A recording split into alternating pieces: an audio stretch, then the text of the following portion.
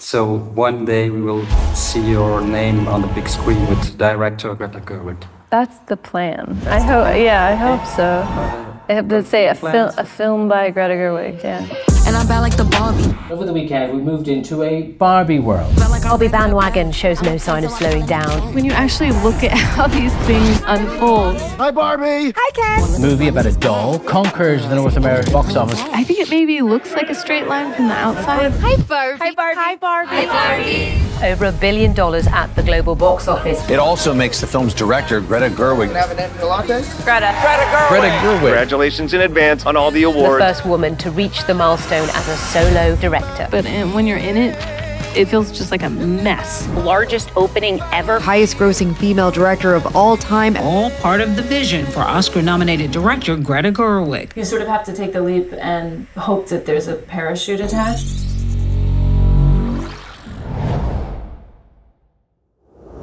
The idea of a coming of age story is something that happens again and again and again. I was actually on the subway in New York and I heard two teenage girls talking. One of them said to the other one, I wish I could live through something. I wish I could live through something. Part of my experience of learning how to direct was being on film sets as an actor.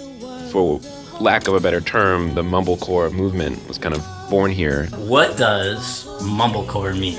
A little bit, bit about Mumblecore and how you became like. The queen of the empire. Yeah. Making a film called Hannah Takes the Stairs. And uh, I co wrote that and I acted in it. That's especially is that nobody like really actually listens to each other. Mumblecore was said as a joke by one of the sound mixers. Nights and Weekends is um, it's kind of hard to synopsize. I'm trying to say something. Every time that it's not perfect, I fix it.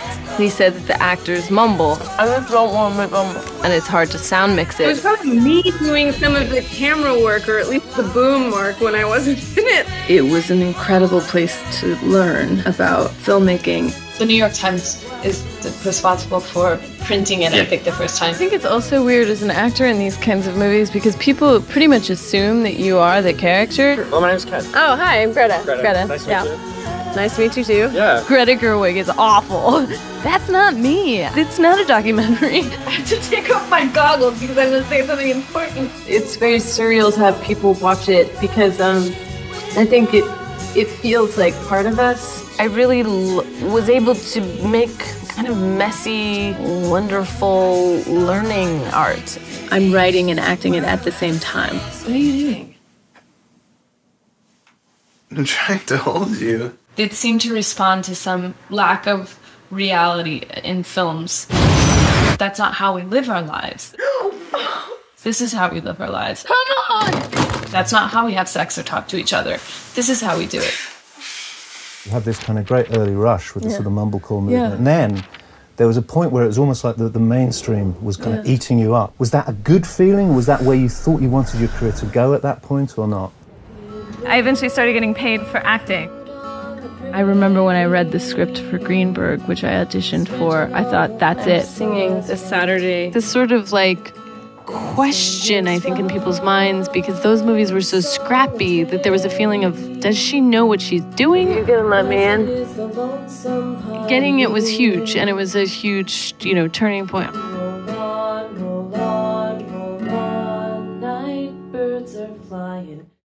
But then, actually, after I did that film, it, it was a year before anyone saw it, and then I came back to New York, and I couldn't get another job. Even though I they knew I'd been in it, they'd say things like, "Did you get to meet Ben Stiller?" And I was like, "No, I was. I'm in. I'm in, really in it." and I, I got a day job again during that time because I didn't have money.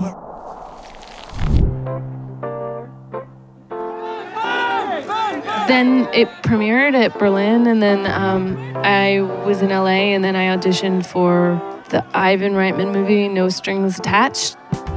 The lovely Greta Gerwig, ladies and gentlemen. Nice to have you on the show. I'm so happy to be here. Well, we're happy to have you here. Oh. But now we see you on magazine covers, red carpets, the whole deal. He's on the cusp of stardom. You're in a movie that uh, opens Friday, and who is the cast in this? How do you feel about that kind of buzz? How are you dealing with fame? It's like a crime scene in my pants. This is with uh, Ashton Kutcher and Natalie Portman. Yes. and to be called, you know, like the, the next big thing. Well, I was meant to do a sitcom called How I Met Your Dad. Attention, people of New York, my name is Sally. That's me. And whatever happened to how I met your dad? To announce something very exciting, we found a bullhorn. Who wants tequila shots? Yeah. And it didn't work. Nobody wanted it. So that that seemed bad, but now it's okay. Um, but who knows? It could have been great, and I would have had a better alternate life. One critic asked if Gerwig was now the greatest actress alive. I've worked with Noah before, but Yeah. this is your first time writing with him. Are you still writing? Yeah, yeah, I am. I'd still like to uh, make that like part of who I am. And I think when I read Noah's movie Greenberg, I had this kind of instant flash of like, I didn't write that, but I wish I had. It was after Greenberg, and um, he asked me if I would be interested in writing something with him. Probably the first seat of Frances Ha was in 2009. Noah's such a wonderful writer. When I was writing Francis, I wanted to entertain him. I had been writing for a long time and I, I had all of these little scenes. It felt like a combination of like really building something together but also sort of showing off for each other. and I gave it to him and I said, What about all this stuff? And he said, I think there's a movie in here. Welcome There's this very beautiful montage where uh, your character returns to Sacramento. I loved growing up in Sacramento. You also included your own family in the film. Glad you're home. People are lamenting being 28, Chris. I felt like I could use my real hometown and my parents without feeling like it was exploitative. So it's not like a place I left behind. I could ask them to be part of the film. I'm moved every time I see that section because I do love where I'm from. These new cutting boards? Bye. I love you. I wanted to make a movie, a home movie that took place there. Do you think I look like I'm from Sacramento? You are from Sacramento. I had started writing Lady Bird, but I didn't know what it was going to be yet. Thank you for driving. You're welcome. I was writing it for a number of years and I felt it sort of m- bubbling up inside. You're not coming. You can't walk up to the gates anymore. I think it's a good piece of writing. I could give it to someone else to direct. I know a lot of directors and they would do a good job. Yeah, but I'm going to college. Well, Dad will walk you to security. But it, it felt very much like a, if you don't do this now, I don't think you're going to do it. So do you want to do it now or, or not? Ladies and gents, this is your pilot speaking. I hope you're having a pleasant journey with us so far. We're being treated to some truly spectacular sights this morning. Really looks like stock footage, huh? I get to see these sights every day. But for the rest of you, Storyblocks' stock library offers unlimited downloads of high quality footage, templates, music, and more without any of the turbulence. The dense clouds of legal jargon are intimidating. Copyright law seems complicated, and confusing licensing regulations leave you in danger. But Storyblocks keeps you 100% legally covered with clear-cut licensing. To get started with their curated and commissioned library of over a million assets, subscribe at storyblocks.com/dodford. Sure comes cheaper than three years of flight school. With your upbringing, Yeah. your experiences in mm-hmm. Sacramento, what got you out to New York? I was always dreaming about the big city. There were jobs around film and around theater, but I had day jobs until I was 26. I just don't know what I'm doing with my life. Up until 27, everyone says, You're so young, you've got so much time. And then all of a sudden you're 27 and everyone's like, Well, 27 is old, though. you should probably figure this out. This idea of it's the first time in your life when you're not young. I, I always felt like my connection was to theater mainly because I could tell that it was made by people. And and it seemed like that might be something I would I would be able to do. I was sort of willing to do anything. It wasn't so much like, oh, I have a sense of like, it's got to be acting or it's got to be writing or it's got to be directing. It was like, what's necessary? How, how do I get in there and do anything? I was doing anything I could do. So I was I was doing a lot of technical theater. The luckiest thing that happened to me was that I found a group of people who were really making their own stuff and that they took what they did very seriously. Um, like uh, Josh and Benny Safdie, uh, Rai Russo Young, Ti West. All these people were there. In particularly early films I made, I wrote them and held the camera and did everything because there was nobody to do anything because we had no money. And it was that community and the feedback and support that we gave each other. That that was that was actually worth more than even anyone hiring me. So it was it was my beginning of what became what was my film school. And so um, theater ended up being a door that felt closed to me, but movies felt kind of like the Wild West and like you could do anything. And if you have a voice, you're only going to find it by leaning into the things that maybe feel not right. Even going back to Lady Bird, I thought, well, I'll write this and then I'll give it to someone else to direct. I've always wanted to direct, and I never felt ready. I'd been thinking like I really want to direct, but I'm, you know, courage takes a while to grow. But there's always a point when I'm writing a script when I think "Mm, this is sort of embarrassing for because I feel very exposed by it. I think these these kinds of smaller movies only work when there's a director, you know, with this clear vision. Weird to be in director mode with you guys. And then I thought, it's time to jump, kid. Even if this goes completely sideways, I think I will have rather had thrown my hat in the ring. I don't know how much of it has to do with being a woman. When I had a script and I was talking to different financiers, I mean, everyone said no. I was not a person you, you hire to do anything. You're like, is it because I'm a first time director? Is it because I'm a woman? Is it because it's a story? Eh, You know, is it because just indie films are a risky proposition? But I don't know why. I just, I just was like, someone will make, someone will make this. My name's Lady Bird. It's weird you shake hands. Yeah. I think you don't quite know until you're on the other end of something like that that you can do it. I want you to be the very best version of yourself that you can be. You sort of have to take the leap and hope that there's a parachute attached. What if this is the best version? The best compliment I ever got was uh, someone said, You are so delighted when you're looking at the monitor at actors' work. And um, they said, It makes me want to come back and do a good job. Still don't know how to use those rollers that you gave me. Oh. Directing is the place that I feel most myself, and I can only ever do it as myself. Collapse like a little closer. I want to create an environment where it's like, try a big crazy thing. No- Go left, go left. After they heat up, you. And Lukey, come over to her. Come collapse. Oh. And kiss her. I have every crew member wear uh, name tags, um, including myself. Better kiss her. You're more than your position. You know, you're a person. Twist the hair like this. And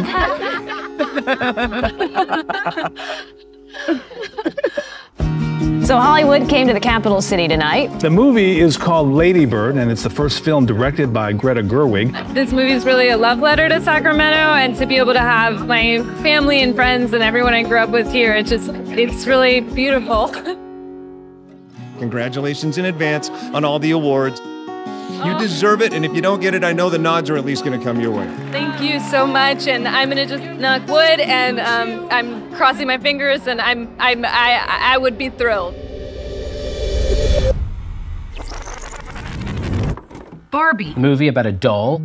How do you adapt a doll? It's a doll. It's it's an inanimate object that shouldn't have a story because it is there to be projected onto. Why can't I just make the eggs? Because you take too long, you make a big mess, and I have to clean the whole thing up. The working title for the movie was uh, Mothers and Daughters. Well, yours is the worst life of all, so you win. Oh, so now you're mad. Mom, the eggs are not done. Fine, make your own fucking eggs. I wanted to. You won't let me. When I was actually trying to get producers and raise money to make the film, I'm sorry, I'm not perfect. No one's asking you to be perfect, just consider it would do. I don't need. if men had daughters, I want to go where culture is, like they totally got it. They were like, "Yep, this is my this is my wife and my daughter. I get it." Get into those schools anyway.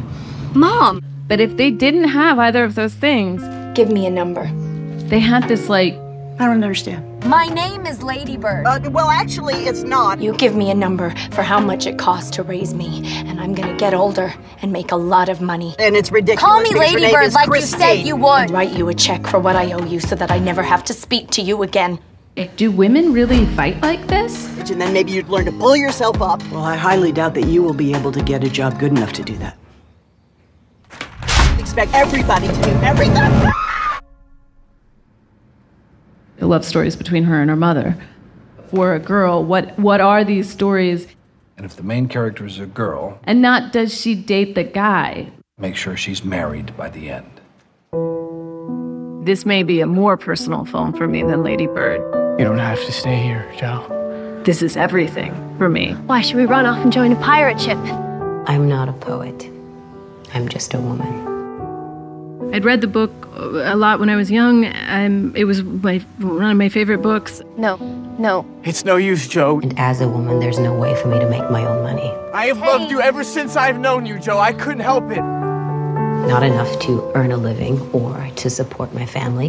This book was the thing that really gave me any idea that I would be able to write. 5% of the royalties. What about a payment up front? It's fine, and I waited, and I never complained because I. There are so many more stories than You know, I figured you'd love me, Jo. falling in love or not falling in love. And I'm so grateful to you, and I'm so proud of you, and I just. I'll give you $500 right now to buy out the copyright. There are more than just love stories for women. I don't see why I can't love you as you want me to. I don't know why. Um, that it's not girl gets boy, You keep your $500, and I'll keep the copyright. it's uh, girl gets book. I want to own my own book. If I had my own money, which I don't, that money would belong to my husband the moment we got married. Look at me. I'm homely, and I'm awkward, and I'm odd. And if we had children, they would be his, not mine. And you'd be ashamed of I me. I love you, Jo. Jo Jo says I want to be a boy. One beauty. boy. Why wouldn't she want to be a boy? So don't sit there and tell me that marriage isn't an economic proposition because it is.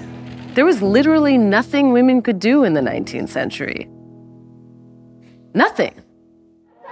Free our sisters! Free ourselves! For evening wear. I go to college. I'm an old maid. What do we want? Your Barbie dress.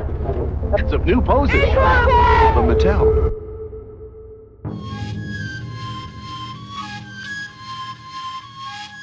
Yes, Barbie changed everything.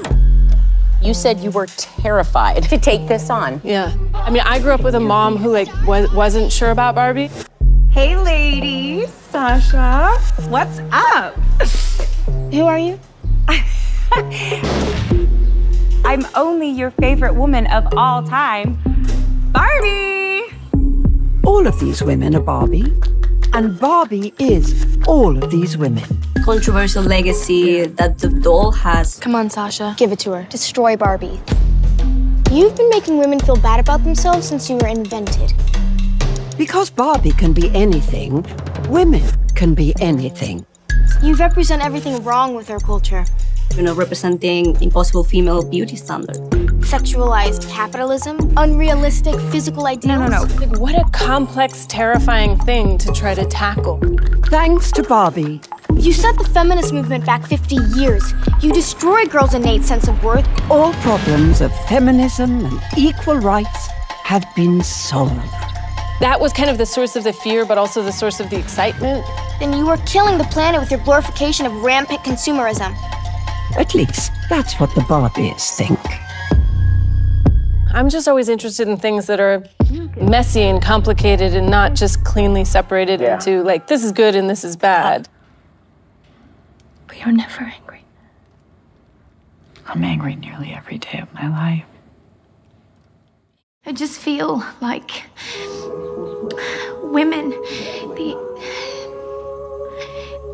they have minds and they have souls as well as just hearts. Like, we have to always be extraordinary.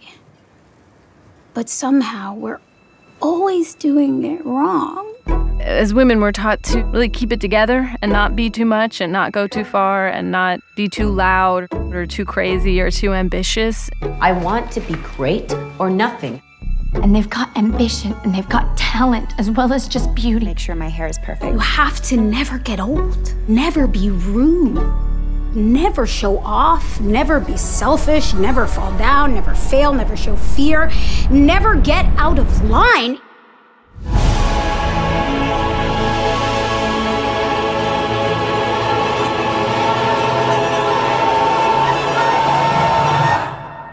When you actually look at how these things unfold, I think it maybe looks like a straight line from the outside, but when you're in it, it feels just like a mess. I like having the space as a writer to explore characters. And I'm not afraid. Who didn't seem to get that memo because there's a freedom to it even when they're failing. It's too hard, it's too contradictory, and nobody gives you a medal or says thank you. I like women, I'm interested in women, but I also, I'm just interested in the, the process of change that occurs when you undertake what seems to be an impossible endeavor. Now, close your eyes.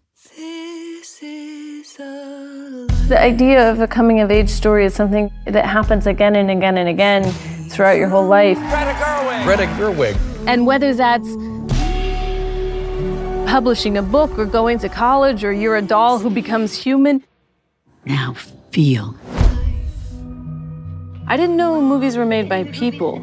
I thought they were handed down from God.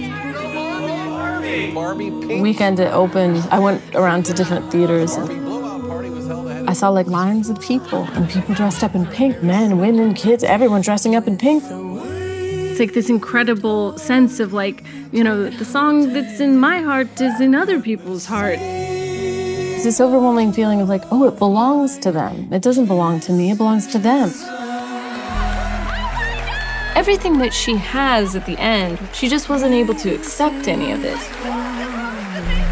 She had all these things in her power, she just couldn't figure out how to do it.